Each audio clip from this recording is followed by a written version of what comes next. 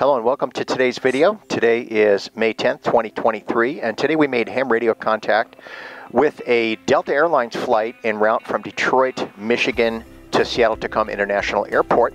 The captain on board is a ham radio buddy, and we arranged a schedule. I attempted to contact him on uh, multiple bands at a few different times during his flight, and we finally made good, solid contact on uh, line of sight contact on 10 meters on 28.400.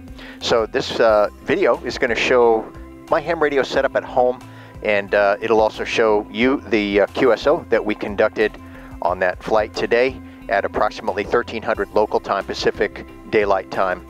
So I uh, hope you enjoy it. We sure had a blast doing it and I'm glad to have finally gotten my first ground to air mobile contact in the logbook.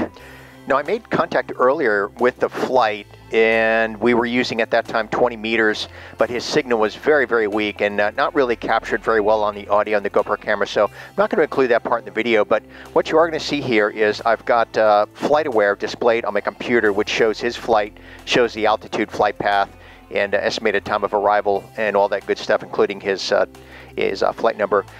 Um, I got that on the screen as I was talking to him, and in the end, we ended up working line of sight on 10 meters. So just before he began his descent into SeaTac Airport, uh, we were able to make successful contact on 28.400, and uh, he had quite a good signal, and it actually improved all the way up to 5.9, and he, he copied me as also 5.9. Uh, so anyway, the experiment was really cool because we got to uh, evaluate the effects of skywave um, from an airplane operating, in his case, at 34,000 feet or 30,000 feet when we made our HF contact uh, using uh, Skip and now line of sight. So in the end, in today at least, based on conditions, the line of sight worked best. So we'll begin with our contact on 10 meters. Hope you enjoy it.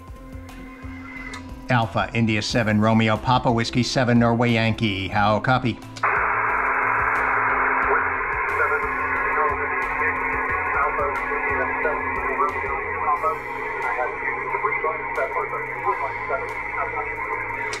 Also have you 4x7. This is the best copy we've had yet. 4x7, AI7 Romeo Papa W7NY. Are you on your descent now?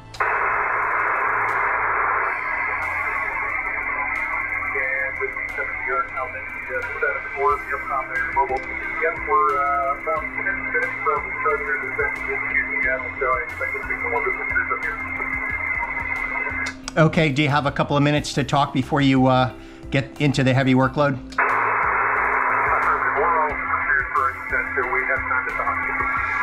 Okay, that's awesome. How many miles out are you right now, over?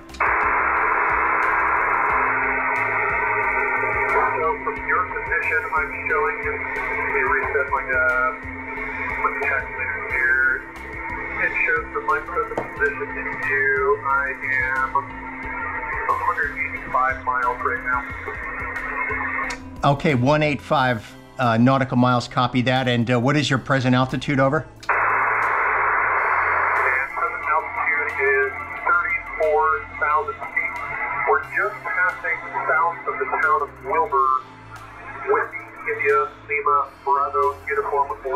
Wilbur, Washington. Okay, copy. Wilbur, Washington. Your signal came up. You are now five and seven, solid five seven. Over. Delta, Okay, awesome. Yeah, so this this this really worked out well. The line of sight um, really was the key to our to our best contact today. I did, as I said, get you earlier, but it was really really tough to pull you out on 20 meters. Um, but but right now you're you're rock solid and and improving uh, as you get closer. Over. Uh, also improving as well. I had a good copy with someone just south of us, or just south of you in Centralia, about 10 minutes prior, or 10 minutes following our earlier contact on the same frequency uh, but I wasn't able to pick up anyone else in Washington after that. And it's been very spotty on and off on uh, 10 meter today. Yeah, that's awesome. So it's it's really rare, you know, to be able to work a line of sight contact on HF. I mean, most most people obviously use it when they're you know doing skywave skip stuff. But anyway, this is working out super super well, and I'm really pleased to get my first contact into an airplane from a ground station. Over. Yeah, I was very uh, I was pleased to have the opportunity to do so after I saw your channel. I was. Uh that was a big, big goal of mine to give me that first opportunity once I was able to uh, get enough experience to uh, understand how our radio worked and, and get a few contacts under my belt. But yeah, once I uh, once I had that uh, underway and I was able to make contact with you, uh, I was happy to give you that opportunity. Over. Yeah, Roger, Roger. Uh, AI7 Romeo Papa, Whiskey 7 Norway Yankee. You're even getting better now. Your signal is coming up almost five nine. Got you at five seven in the log, but I'll change that to a 5.9 here if it improves before you start your descent, and get into your uh, heavy workload there. And Whiskey 7 New York, Alpha India 7 4 Romeo Papa. Yeah, the, the uh, first officer and I have. Uh, coordinated our duties and we, we prepared ourselves to briefing beforehand. So I have about six more minutes and then I'm, uh, I'll have to sign off. But uh, up until then, we're, uh, we're pretty much hands free. They have what's called CPDLC, which is where the air traffic control controls us via uh, messages that go to our computer. So they don't, they don't even talk to us now. Yeah, Roger, Roger. And by the way, got you at 5'9, 5'9. You're going in the log as uh, 5'9. Um, have I improved as well over? Affirmative. The signal's coming in stronger. There's still slight distortion on the voice. It sounds like it's coming through a uh, through uh, just maybe it's a slight off frequency, but I can't can't quite tell on that one. Uh, but again, that's most likely my airplane. That's uh, we just have very limited uh, refined or very limited uh, controls, very uh, coarse uh, frequency adjustment. So it's most likely on my end. Okay, yeah, maybe maybe you're a little bit off tune on the sideband, so it sounds a little bit squirrely. But man, your your audio sounds really really good, and kind of excited about uploading this uh, onto uh, my YouTube channel this evening. So the plan for me is uh, we're gonna fly out probably about 3 p.m. ish to uh, Friday Harbor and uh, just walk around downtown there, hang out a little bit, and then have dinner. So I'm planning on doing some ham radio contacts, probably both directions. And at least one of the directions, I'll probably go ahead and, and start and you know record it on on GoPro cameras. So that way, if you're able to talk into the airplane, I'll get you uh, I'll get you on the YouTube uh, upload. Hey, there you are, Alpha India 7, Romeo Papa, W7MYR Mobile. Go ahead. And Alpha India 7 Romeo Papa, hey, W7NY. Got you loud and clear, picked you up just copy, you're 5 and 9. You're, you're breaking up a little bit, but I got you. I still got 100% copy. I, I did copy that you have me 5-9, and I'm super glad that you were able to jump on. Uh, I was, we're running out of time. I only have uh, nine minutes before we're back at Tacoma Narrows, over.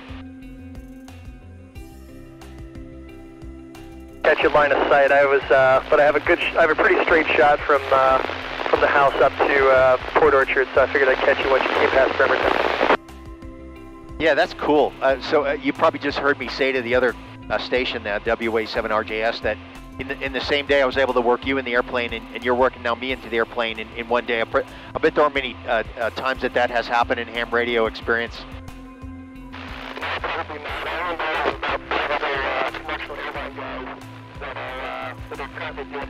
So I don't think that happens too much. Yeah, super awesome, and your signal's improving as we get a little bit closer. Uh, we're just coming up on the Purdy Bridge, and I think, uh, well, the, uh, let's see, the tower's closed. Yeah, tower's been closed for 45 minutes, so I'll, a little bit here, I'll make my calls to traffic. Uh, you have a good flight? Did you have a good flight today from Detroit over? Yeah, it was a fantastic flight. Uh, much nicer we got uh, west of the Rockies. It was a little bit cloudy on the way out of Detroit, but full day today, so just once we get over Seattle, it's just been spectacular. Looks like you guys had a uh, flight today as well. Oh yeah, it was totally awesome, and I don't know if you were monitoring, but we, we flew over a pod of whales. I got that recorded. Probably about six to eight orcas in formation and a V formation right there in Friday Harbor. So I was a little bit high, so ho hopefully I can uh, get some good video out of that. And uh, then there was a two-ship F-18 formation flew in front of us uh, into Whidbey Island as we are going that away. So lots of good stuff on the cameras today, over. Yeah, good copy. Nothing quite like formation flying. It's maybe the most fun stuff I've done other than sort of solo formations. That's, uh, that's kind of unparalleled, but it's been 20 years. I do miss that kind of stuff. But yeah, great stuff. I'm looking forward to seeing your video tonight. And I do appreciate you getting me on the radio today. Oh, absolutely. And uh, if you do get a chance, if you could uh, give me a, uh, put that on your Google Drive and, and you know, send me the link and That way I can finish putting together at least the uh, the ham radio contact we did today. That part of it, I should be able to finish that today because that's that was a pretty short video. So anyway, that would be awesome. Maybe you've already done it. I don't know. I hope you had a good dinner out uh, with the wife this evening on your way back. That was a nice surprise for you on your way back from uh, SeaTac. Over. Yeah, good copy. Yeah, it was quite a surprise. I wasn't expecting it, but uh, she was uh, she was kind enough to come surprise me with that, and uh, we had a good evening. And it's, uh, it's always nice to kind of finish up the day, finish up the trip with uh, some time with the with the spouse. So, anyhow, uh, great talking to you today, and uh, I'll uh, get you that video. I should have that uploaded to you, if not tonight, first thing tomorrow. And uh, it's uh, just my descent and arrival in from uh, from once we finished our QSO all the way down into landing and uh, SeaTac. Mobile heading northbound I-5, five, four miles south of Marysville, calling CQ. Okay, Stefan, good uh, talking to you. I'm going to start making my radio calls down there to traffic. Uh, I can see Tacoma Narrows off the nose now, so I'll begin my descent into there, and uh, I'll catch you later. You're being recorded right now, so you'll be on this uh, this recording. I'll probably upload this on the during the weekend, I think. So anyway, have a good one. Uh, Alpha India 7 Romeo Papa Whiskey 7 Norway Yankee Air Mobile 73, and we'll catch you later. Yep, thanks, Bill. Appreciate it. 73. Yeah, 73. Cool.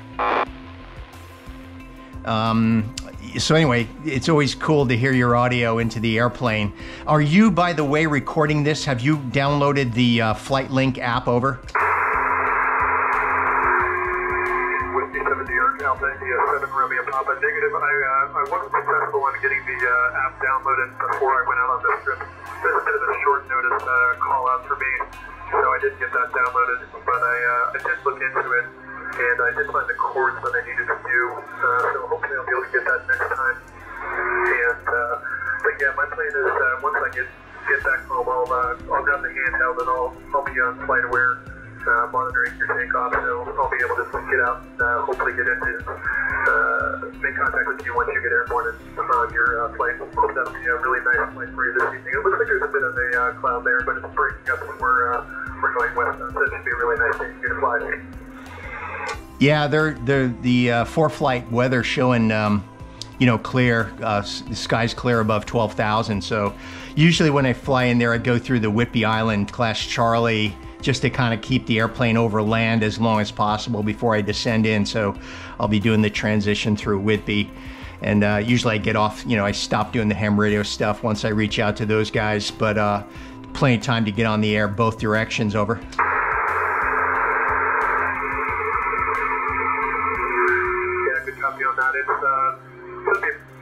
nice. It was a bit bumpy coming uh, west today from Detroit, but the uh, gone from solid to now we're just uh, just broken skies, just little here and there. Be a nice day to take the glider if I had one, but uh, I'll stick with what I've got for now. At least it has in it. Oh, that's so totally awesome. Uh, AI7RP W7NY, the glider piece. Uh, always been very fascinated uh, by that. The guy in the hangar next to mine is a glider pilot. He actually has a glider that's powered.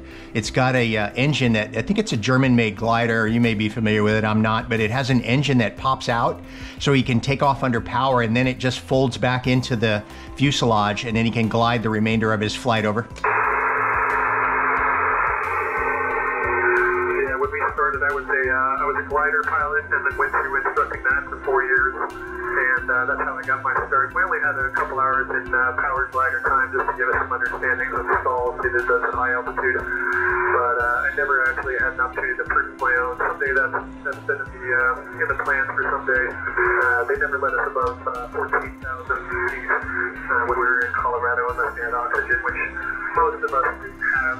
So we just stayed down and uh, we just catch thermals and, um, and hang out around the uh, of Colorado Springs. It was awfully nice. But yeah, someday to up, get up the again and uh, just enjoy it. There's quite like the, uh, the silence and uh, just the sound of the wind going by. Yeah, that's uh, that's super cool. Always always very fascinated by that. It takes a great deal of skill too, understanding um, understanding winds, particularly in, in and around the mountains and that sort of thing. But very very cool stuff. Well, uh, uh, listen, uh, Stefan, it was great to, to, make contact with you from the air. I know you're getting ready to get into your descent phase there, so I'll leave you alone so you can do your thing. But uh, I'm super excited about the contact and about uploading this onto the uh, YouTube channel. So, uh, anyway, I sure appreciate it. ham radio never loses its fascination, always something new, even after doing this for over 40 years on my end. So, anyway, I'll pass it over to you for your final there and uh, looking forward to possibly talking with you on the air from my airplane this afternoon. AI7R PW7NY. Good chatting with you today. I appreciate it. I'll hopefully I'll be able to work you this afternoon once you uh, go up on your flight. And with me 70 Albania 7 Romeo Papa, your mobile over now. Thanks. Okay, awesome. We'll see you later. Thanks again. 73, this is W7NY. Off and clear.